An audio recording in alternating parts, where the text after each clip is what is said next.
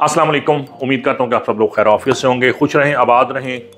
माह रमज़ान रवा दवा है सहर और अफ्तार उसके साथ साथ रवा दवा है। जब सहर और होगा तो दावतें भी होंगी अपनी फैमिली में, फ्रेंड्स में और पकवान भी मुख्तु किस्म के पकेंगे। हमने रवायती पकवान तो पीछा छोड़ना नहीं, चाहे वो रमज़ान हो या ईद हो। तो हमारे मशरक़ी खानों में पुलाव, कौरमा और रोस्ट, ये तो बुनियादी दावत में हर एक में होता है, अगर आपका मशरक़ी खाना है तो। स्टीम रोस्ट देगी या स्टीम रोस्ट फ्राइड ये एक बड़ी मकूल डिश है। और इसको आज मैं आपको इस तरीके से बनाना सिखाऊँगा कि ना आपको इसमें स्टीमर की ज़रूरत होगी, ना आपको, आप बिल्कुल अपने घर के जो बर्तन और उसमें जो दस्तियाब अवेलेबल चीज़ें हैं without any steamer without any कोई बड़े स्केल की कोई आपके पास बर्तन हो, उसकी मदद के बगैर ही आप घर में बसानी स्टीम रोस्ट कैसे बना सकते हैं।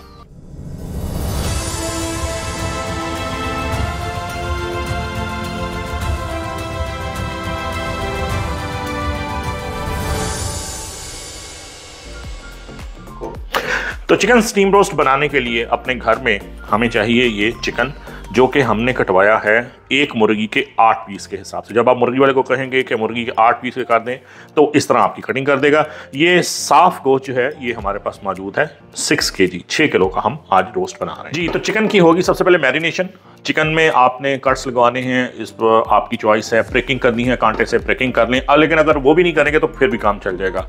मैरिनेशन आपने एक खुले पैन का वो पतीला लेना है, जिसमें हम इसी में कुकिंग कर लेंगे मैरिनेट करने के बाद। सो इसलिए ज़रा थोड़ा सा बड़ा लें।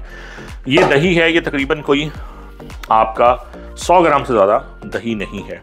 इसकी बेस जो है, वो सिर्फ़ दही और लीमू। ये है लीमू का रस और ये तकरीबन है कोई पंद्रह सोलह टेबल स्पून इसमें है। लीमू का रस। इसमें इसकी टेंडराइज़र का काम भी करेगा, इसको खटास भी देगा, इसको चटपटापन भी जो है। लीमू का रस वो एक प्याली, ये आप देख लीजिए 200 मिलीग्राम वाली प्याली है, ये इसमें जाएगा लीमू का रस।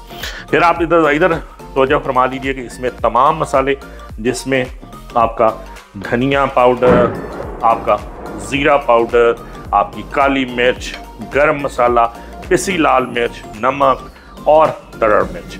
और साथ में आपका लहसुन, अदरक का पेस्ट ये तकरीबन तीन तीन टेबल स्पून है छः किलो चिकन के लिए। ये सब इसमें शामिल होगा। रोस्ट मसाला जो है, वो हम अलहदा से बना लेते हैं। प्लेट में आपकी आसानी के लिए सबसे पहले आप सॉल्ट ले लीजिए। ये तकरीबन कुछ चार टेबल स्पून तो इसमें जाएगा। फिर हम इसको उंगली से चख लेंगे कि अगर इसमें मज़ीद कोई हुई, जब हम इसको स्टीम देंगे।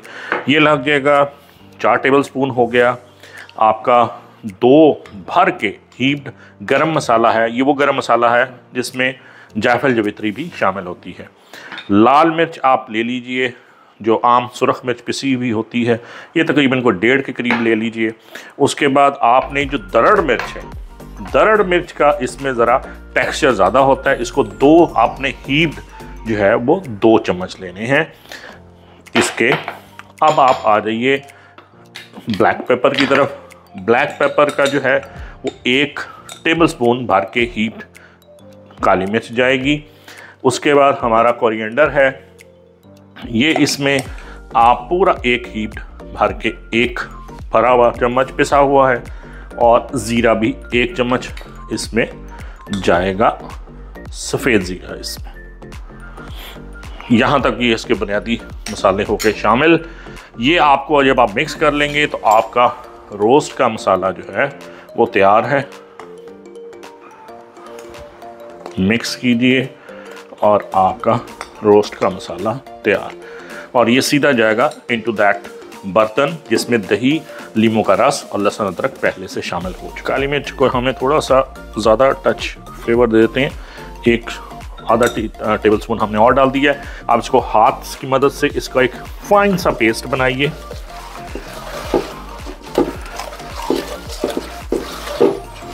लीमू की फ्रेगरेंस ताज़ा लीमू के रस की फ्रेगरेंस जो है, वो फील हो रही है। ये आपका फाइन पेस्ट जो है, वो तैयार है। आप आप इसमें ग्रेजुअली जो है, वो चिकन को ऐड करते जाइए। चिकन के पीसीज आपके सामने हैं, बड़े हैं, क्योंकि इसमें स्टीम में पकना है। अगर इससे छोटे कटवाए होंगे तो वो टूट जाएँगे और स्टीम आपका रोस्ट साबित नहीं रहेगा।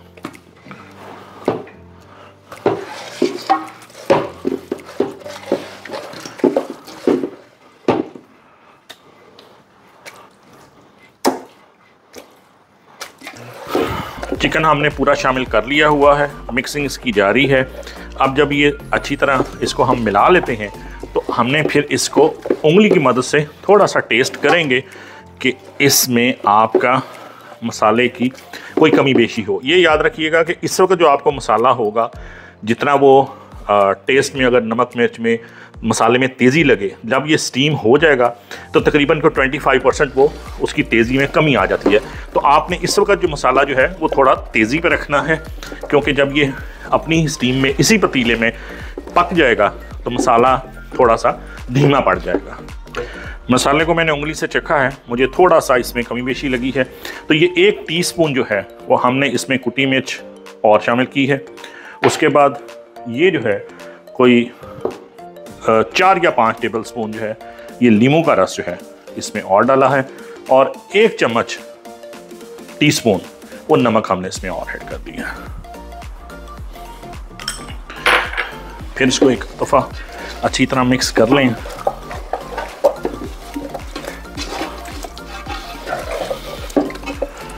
अगर आपके हाथ पे कोई ज़ख़म है तो आप इसको दस्ताना पहन के भी कर सकते हैं, वरना आप हाथ धोइए। और जो मैरिनेशन का एहसास, जितनी बेहतर मैरिनेशन आप अपने हाथ से कर सकते हैं, वो किसी चम्मच से नहीं हो सकती। तो बेहतर ये है कि आप हाथ धो के, साफ़ हाथ से, अपने हाथ से इसको मैरिनेट कीजिए। मैरिनेशन भी बेहतर होगी और आप इसके टेस्ट अपने हाथ के पोरों से भी महसूस कर सकते हैं कि मसाला अच्छी तरह रच बस गया है और कि नहीं। ले जी, मसाला हो गया है मिक्स। इसको हम, आप अगर चाहें तो इसको ओवरनाइट छोड़ सकते हैं। फ्रिज में नॉट फ्रीज़र फ्रीज़र में नहीं। लेकिन कम से कम भी जो इसको आपने रखना है, वो दो से तीन घंटे रखना है और फिर अगला स्टेप मैं आपको तो जनाब, इसको मैरिनेशन का ड्यू टाइम देने के बाद जब ये इसमें मसाला रच बस जाए तो आपने बर्तन को तो चेंज नहीं करना। इसी में जहाँ है, जैसे कि बुनियाद पे इस बर्तन को उठाइए और चूल्हे तक ले जाइए।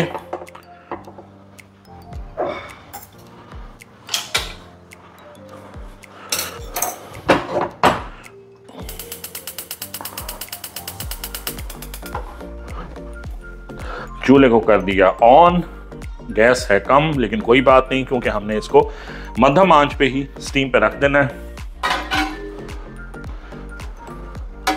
ऊपर दीजिए ढक्कन, कोई हिलाने की ज़रूरत नहीं है। लो टू मीडियम फ्लेम पे रखिए और इसमें कोई चम्मच नहीं हिलाना। जब इसमें स्टीम बनने लग जाएगी तो आपने जब इसे हिलाना है तो पतीले को पकड़ के मैं सिर्फ़ डेमो दे रहा हूँ, अभी तो इसमें स्टीम नहीं है। आपने अगर हिलाना भी है तो पतीले को पकड़ के हिलाना है, लेकिन अभी तो इसमें काफ़ी देर लगेगी। एक घंटे तक इसमें स्टीम बनेगी और फिर मज़ीद एक घंटा उस स्टीम में मध्यम बाँध पे इस पर अपने स्टीम में, अपने पानी में, आपने देखा होगा, इसमें मैंने कोई पानी ऐड नहीं किया। दही और लीमू की मकदार भी बिल्कुल कम है। चिकन गोश्त अपने पानी में, अपनी स्टीम में बिल्कुल गल के सॉफ्ट मेल्ट इन माउथ हो जाए। रोस्ट हमारा अपने ही पानी में पक पक के स्टीम में बिल्कुल सॉफ्ट टेंडर हो चुका है। अभी इसमें देखिए कि हमने इसमें कोई पानी ऐड नहीं किया था, ये इसके अपने जूसेस हैं। अब इस वक्त इसमें हम ऐड करेंगे घी, यानी कि इसकी करेंगे ऑयलिंग जो इसका फ्राइंग का जो एक टच है इसको, वो इसमें लाने के लिए। अभी तक सिर्फ़ ये सिर्फ़ अपनी स्टीम में, अपने ही जूसेस में ये गला है और अब हमने इसमें तकरीबन तकरीबन कोई तीन जो सर्विंग स्पून है, वो हमने इसमें घी शामिल किया है और स्टिल फिर इसको हमने दोबारा पकने के लिए अपनी ही स्टीम में रख दिया तब तक, जब तक कि ये बिल्कुल ड्राई रोस्ट की शक्ल इख्तियार ना कर दे, एक दफ़ा हम इसको ज़रा एक जेंटल सा स्टर दे देंगे चम्मच नहीं हिलाना जहन में ये रखिएगा कि चम्मच नहीं रोस्ट में मैरिनेशन के बाद से चम्मच का कोई इस्तेमाल नहीं है जो कुछ हो रहा है वो इसको पतीले को पकड़ के आपने करना तो जनाब ये वो रोस्ट जिसको हमने मैरिनेशन के बाद पतीले में रख के उसके अपने पानी अपने जूसेस में पकने दिया था अपनी स्टीम में ये ढाई घंटे की स्टीम लगने के बाद उसी पतीले से हमने इसको डिश आउट किया है और हमने ऑयल आपके सामने बाद में ऐड किया था लास्ट स्टेज में इस वक्त ये इतना सॉफ्ट है कि हाथ अगर केयरफुली नहीं लगाएँगे तो ये देखिए, ये टूट जाएगा। अब आप इसको, हमने डिश आउट किया है ओवन ट्रे में ताकि हम इसको जब तक हमने सर्व करना है, अगर अफ्तारी में तो हम इसको ओवन में रखेंगे ताकि गर्म रहे और इसके जो जूसेस हैं, वो इसके ऊपर हम इसके डाल देंगे। जो ऑयल है, वो भी हम इसके ऊपर डालेंगे। वो इसका सारा जूस है। तो ये आपका बग़ैर किसी मेहनत, बग़ैर किसी इक्विपमेंट के घर के पतीले में पका हुआ बेहतरीन स्टीम रोस्ट जूसी टेंडर चटपटा करारा आपके लिए तैयार।